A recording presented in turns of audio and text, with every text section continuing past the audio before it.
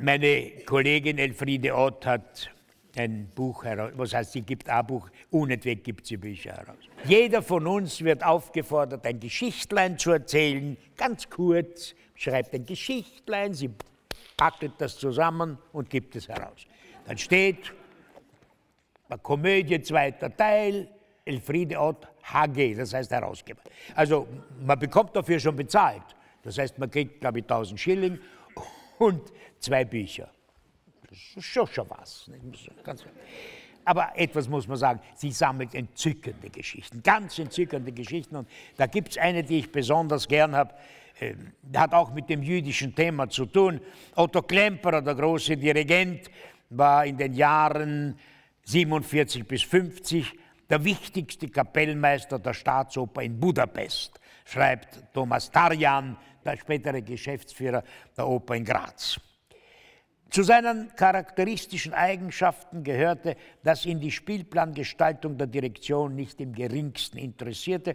Er dirigierte nur die Werke, zu denen er eine besondere Beziehung hatte.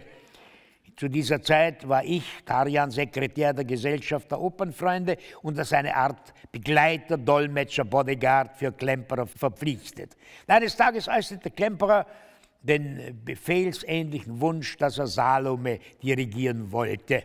Das Werk war nicht auf dem laufenden Spielplan, aber es existierten immerhin noch das Bühnenbild und die Kostümausstattung. Die Direktion erstellte eine Besetzung, wonach nur die Rolle des Narabot umbesetzt werden musste. Sie sollte jener verdiente Tenor übernehmen, der in der früheren Inszenierung die heikle Rolle des ersten Juden gesungen hatte. Sie wissen, das Judenquintett. Narabot hat in dieser Oper sofort nach dem Aufgehen des Vorhangs den ersten schwierigen Takt zu singen. Wie schön ist Prinzessin Salome heute Abend.